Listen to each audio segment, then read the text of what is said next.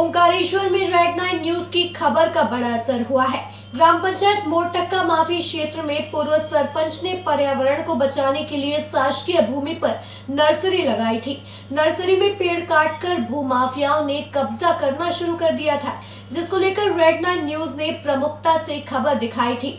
ताबड़तोड़ राजस्व विभाग हरकत में आया और एसडीएम पुनासा ने सख्त कार्यवाही करने के निर्देश दिए।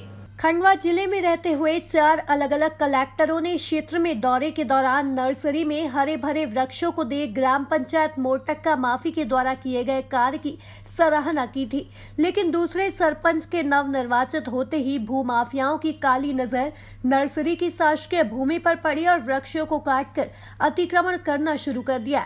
इसी को लेकर समाज सेवी और पूर्व सरपंच जगदीश टायर वाले के पुत्र ने रेड नाइन न्यूज़ के समक्ष पीड़ा सुनाते हुए कहा कि मेरे पिता के सपने को चूर चूर करने पर तुले हुए हैं।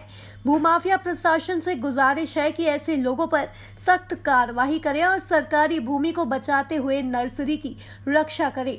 नाइन न्यूज़ के पुनासा एसडीएम चंद्र सिंह सोलंकी ने शिकायत मिलने की बात कहते हुए सख्त कार्रवाई करने के संबंधित नायब तहसीलदार को आदेश दिए।